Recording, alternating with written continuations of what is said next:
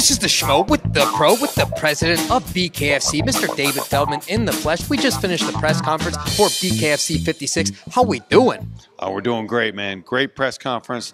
Definitely had some sparks fly. I think it's going to be an awesome event. King of Violence on the line, Eddie Alvarez, Mike Perry. What was going through your mind when you saw those two exchanging some body punches on stage during the face-off? I just didn't want them to go to the head, man. It was good. It was good promotion, but I was like, whoa, that's enough. And they and um, I think Mike Perry's knuckles got bloody on Eddie Alvarez's uh, stomach, if you can imagine that signs to come. But talk to the schmo for a second. Eddie Alvarez, he's achieved everything in combat sports, but he wanted this fight. He called for Mike Perry. We saw what he did inside the squared circle against Chad Mendes. We see what Platinum Mike Perry's doing time in and time out when he competes inside the squared circle. When you heard Eddie Alvarez call for this fight, how excited were you? I mean, it was awesome. I was very excited, and, and, and he asked for the fight. And I think that some, certain fighters rise to the occasion. Like they need an opponent that's going to get them up, get them motivated for that. And certainly Mike Perry's getting him motivated for that. So I think it's going to be a great fight. I'm really looking forward to it. I don't think it's going to be a one-sided matchup. I think it's going to be a war. So the Schmo heard you say to Helen E Sports over there during the press conference, this is a one and done situation. This belt won't be on the line for the victor. The buck stops right here with it that's going to be the case, why is Platinum Mike Perry not fighting for world titles and we're making titles for him in this promotion? You know, it's about money right now for Mike Perry, right? He wants to make as much money as possible, and our champion's name value just wasn't going to add value enough for him to make money. But now I think we can. So he comes off victory on this event. I think there's definitely a BKFC title shot for his next next next fight. And speaking of title shots, Ben Rothwell on stage, he called for Todd Duffy. He's got Todd Duffy. He's 2 0 and he's been vicious inside the squared circle. If he gets the finish, safe to say he gets the title shot next in the heavyweight division? Yeah, I think so, certainly. Uh, Ben's awesome to work with.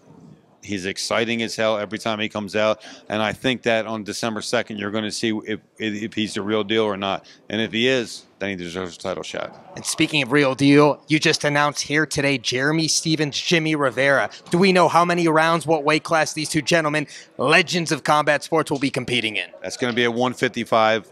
All our fights are five rounds, so it's five rounds, 155 pounds. I think it's going to be a banger. These are two guys who don't know how to back up.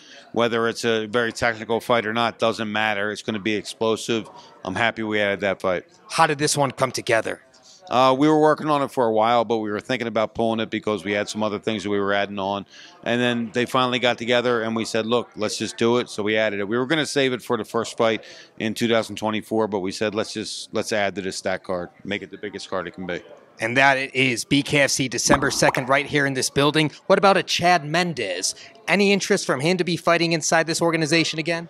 Absolutely. It's funny. He called. I said, I thought you retired. He said that the UFC let me out for three fights. I said, all right, well, let's talk. So there's definitely going to be, you're probably almost definitely going to see Chad Mendes back in 2024. You're going to see a lot of other big signings from former UFC guys, from former boxing world champions in January and February, and it's going to be an epic year. Is Conor McGregor going to call out the PJ&B ringside for this event like he was for the last time Eddie Alvarez competed?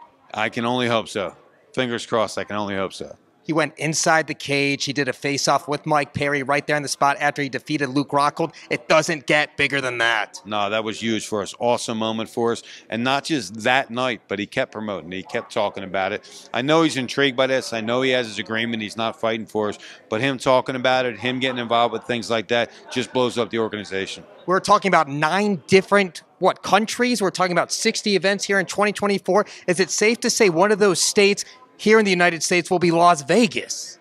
It's not safe to say. I wish it could be safe to say. It might happen. We don't know. It's it's not a yes. It's not a no there's a lot of these states that are right on right on the border of going back and forth, and I think they're all going to lean towards our direction sooner or later, and hopefully sooner than later. And I think it's going to be early in 2024. Since you started this thing back in 2018, it's been getting bigger and better every single year. How does 2024 top 2023 in terms of just the fight qualities? Well, I mean, we have a lot of expectations for 2024, so I think that it's really a make it or break it year for us. We're either going to really explode or it's going to be a year where we knew bare knuckle just didn't work. But I think that's almost impossible for it not to happen because guess what?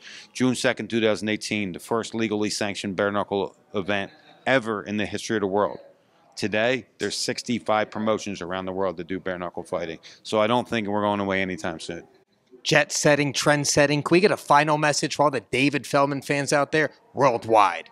Just tune in to December 2nd. I don't want to say the most violent show, but the king of violence is on the line. December 2nd, Eddie Alvarez, Mike Perry, a fight you don't want to miss. Tune in, bkfc.com.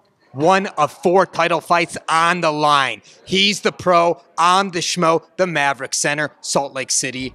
We're out.